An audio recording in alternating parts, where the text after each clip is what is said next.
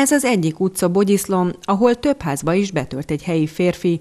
Úgy tudjuk, hogy a 23 éves elkövető még a saját nagybátyját is meglopta. Értesülésünk szerint kábítószer problémái vannak a férfinak, azért követett el mindent, hogy pénzhez jusson. Lakossági bejelentés érkezett január 21-én a kora délutáni órákban, mert egy bogyiszlói ingatlanba ismeret, ismeretlen személy beugrott, és éppen amikor a sértett kiment az udvarra, akkor észlelte, hogy az ismeretlen személy átugrik a kerítésén és elszalad.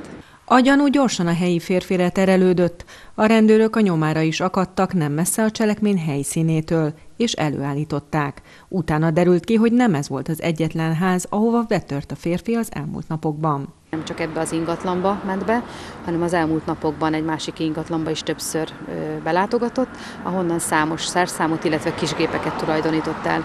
A férfi, amikor a bizonyítékokat elé tárták kollégáim, akkor elismerte a bűncselekmény elkövetését, és azt is elmondta nekik, hogy a tárgyakat kinek adta el. A tolnai rendőrök megtalálták és lefoglalták az ellopott tárgyakat, ezek összértéken meghaladja a 100 ezer forintot. A férfivel szemben kettő rendbeli folytatólagosan elkövetett lopásvédség elkövetése miatt folytat eljárást a tolnai rendőrös.